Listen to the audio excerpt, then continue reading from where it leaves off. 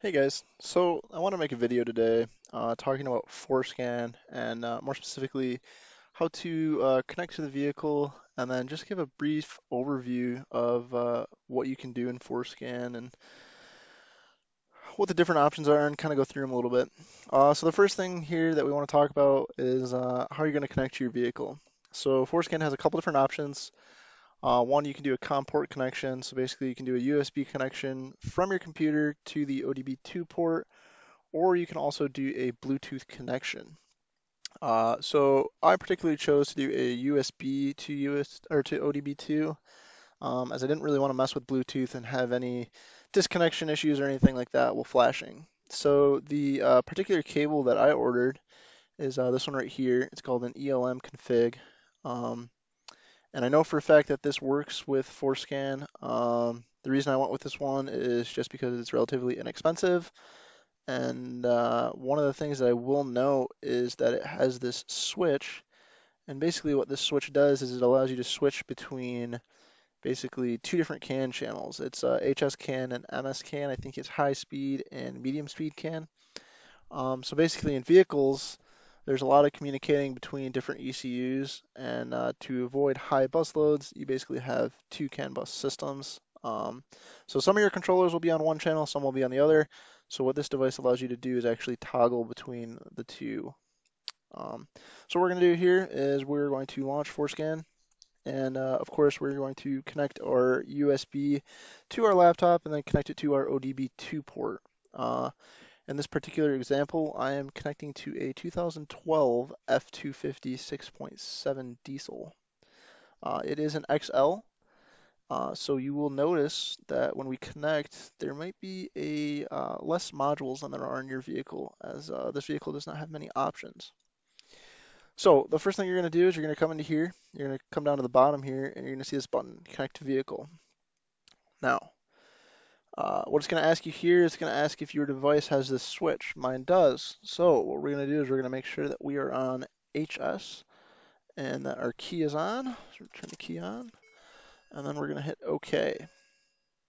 Now what this is doing is it's basically scanning through the different modules. Uh, I'm going to pick them up. In this case, I have already connected to the vehicle. So it's going to ask me if I want to pull up this uh, saved profile. So I want to hit no so I can show you guys what it's going to do. Uh, it's going to ask you, is this vehicle equipped with navigation system? Uh, so like I mentioned, this is an XL, so we're going to hit no because it does not have it. And then all it's going to do is it picked up the VIN, and then it's going to start scanning for the different modules.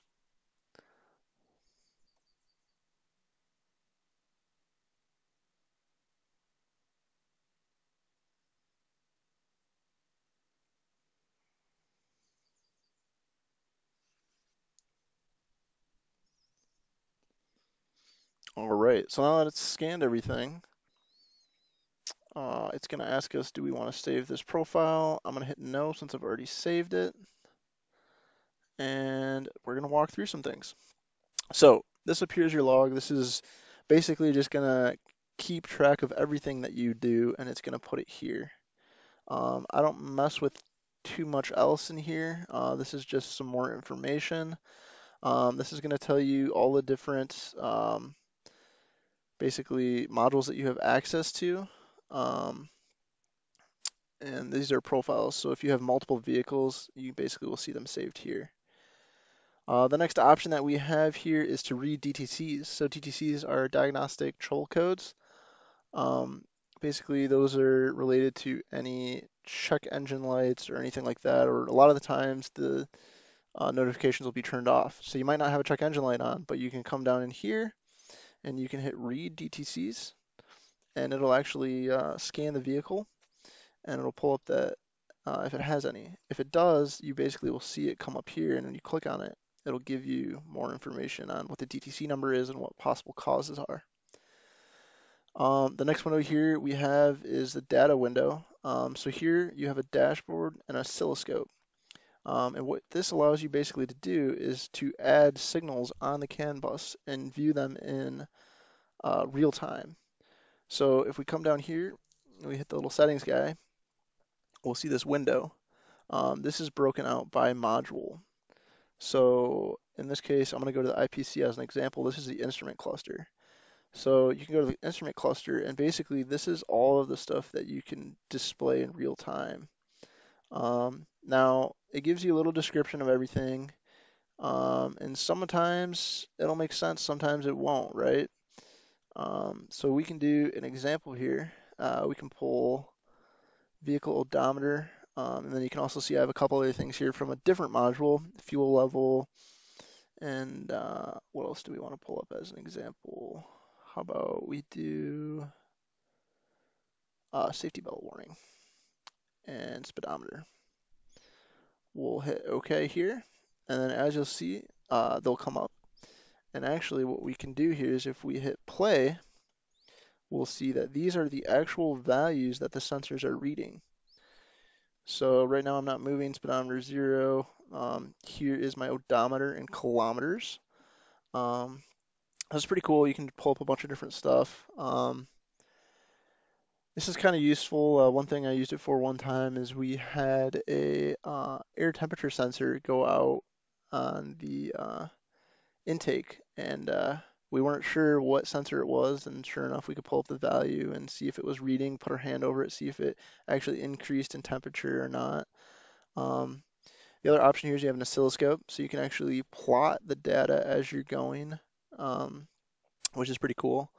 Um, but what I really like about this feature is that you can set this all up, and then you can go for a drive, and while you're driving, it'll actually log it all, and you can hit stop down here, and you have the option to actually save the data file.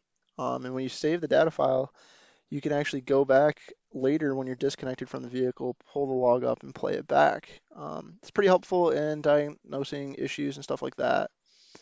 Um, the other options that we have here is vehicle tests. So there are some built-in tests um, that you can run to basically see if a module or a particular computer is uh, having any issues. Um, so for example, the IPC, the instrument cluster self-test, if you run this, we'll basically take all the needles and it'll sweep them left to right, make sure that they're all still moving. It'll go through all of the uh, warning lights to illuminate everything so that you can see if any of them are burned out. Um, and then it'll go through the screen and make sure that the screen is functioning. Uh, so these are pretty cool. Um, the other option that we have here is service procedures. So uh, in this case, I guess um, you can do some calibrations um, or some resets. So if you need to replace the body control module or uh, anything like that, these will basically auto run and do stuff. Um, you got to be careful though, uh, because if you run these unintendedly, you might you might mess something up. Um, so I did a body control module replacement, and one of the things that I had to do was uh, program the PAT system. So when I put a new body control module in, uh, my keys were not programmed to the new module and I couldn't start my truck. So I had to come in here and do the PATS programming.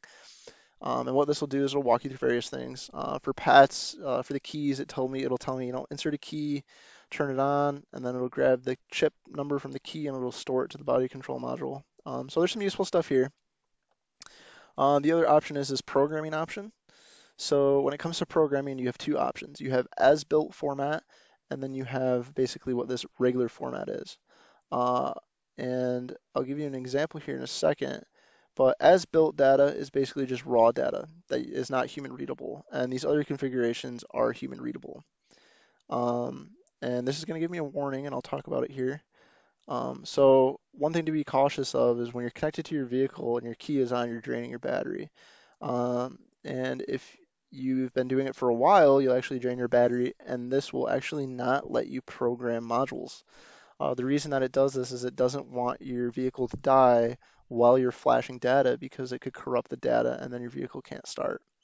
Um, but I'm just doing a demo, so I'm going to continue here. But so this is the human readable format. Um, so this basically gives you all of the things that you can change and adjust. Um, so I had an XL particularly uh, you know, some things I didn't have. So I came in here and some cool things I could do is like I can enable the compass on the screen. Uh, I can change it so the Ford logo doesn't pop up on the screen. Um, I can change my fuel tank sizes. Um, you know, it's pretty self-explanatory. Uh, you can come in here, you can double click on this stuff and you just enable it, hit the check mark, and then it'll tell you to cycle the key, and then it'll flash the module and you're on your way. Um, so basically what you do is you would select this, select enable, select that, and then basically you hit write, and what write does is it flashes the controller.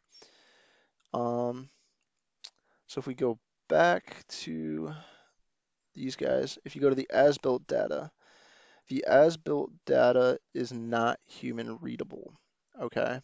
So this basically gives you a register of memory in the CPU, and then it gives you the values.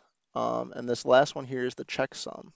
So if you change anything in here, you need to properly calculate the checksum. If you don't properly calculate the checksum, then the ECU knows that the data was changed and it might affect its performance. Um, so I'd be very cautious with this because you can easily uh, break the vehicle, you can break the controllers, or make it so the vehicle doesn't start if you enter the wrong value here. Um, in this case, you just click here, um, you change the values. Uh, FORScan does auto-calculate a checksum, so if I change this value, it will automatically change this and calculate it for me. Uh, I have heard in the past of this not being correct though. Um, and then you just hit write and same process. Now, there are guys out there that have created spreadsheets and they have basically come in here and messed with us until they figured out what they do. So they'll have a spreadsheet and it'll say, hey, this memory location actually deals with, uh, you know, the speedometer. If you want to change it to kilometers an hour instead of 8B, do 9B. Um, you got to be very careful with that because it does change vehicle to vehicle and year to year. Um, so I have a 2012, um, and if I find a, find a spreadsheet for a 2013, it might not be the same. Um, what I suggest is if you're going to mess with any as-built data, always save the factory files. That way, if you mess up, you can actually come in here and just reflash all of the factory files uh, that you started at and hopefully recover if you did mess up. Um, and that's pretty much it, guys. The only other thing we have here is some settings. Um, so if you happen to buy a different connector and it's not working, you can go in here and you can mess with the settings um, and hopefully that'll work for you. But that's an intro. Um, things can definitely get complicated. You can definitely screw stuff up, so just be careful. Um, I'll probably do a video later on explaining the as-built data a little bit more. Um, there are ways to basically decode um, these memory modules and identify what they do. Um, just give you an example here, the body control module is fairly large, right? So there's a way that you can figure out what these mean and what everything does. Um, I did an instrument cluster swap and you know I was having problems with the vehicle and I actually figured out that you know this memory location is the VIN and I can do a decimal to hex conversion and actually change the VIN that's programmed in the module. So data is useful, but it's also dangerous, right? Because I did this and I then had a VIN mismatch between multiple modules on the vehicle and it actually wouldn't start. Um, so be careful, but uh, that's just a quick overview. Thanks, guys.